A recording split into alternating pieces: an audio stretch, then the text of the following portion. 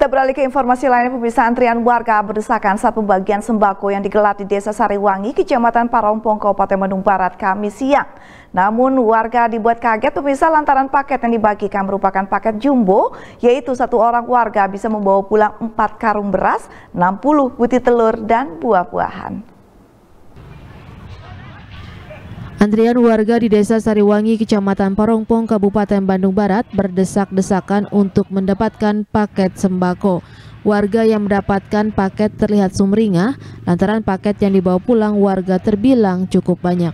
Betapa tidak, untuk satu orang warga paket yang dibawa pulang berupa 4 karung beras, 60 butir telur, 4 bungkus tahu, beberapa bungkus daging dan buah-buahan.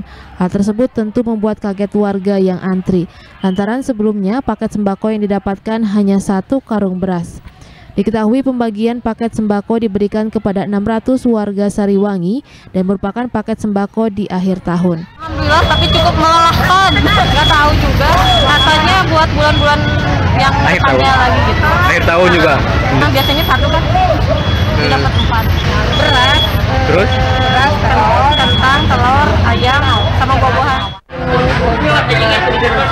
Empat ratus, kita ratus paket ya. Kita protes.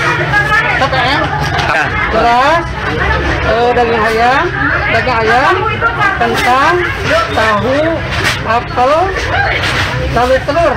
Beberapa warga bahkan sambil membawa kantong plastik sementara warga lain sempat kebingungan untuk membawa pulang paket sembako lantaran jumlah barang yang didapat cukup banyak.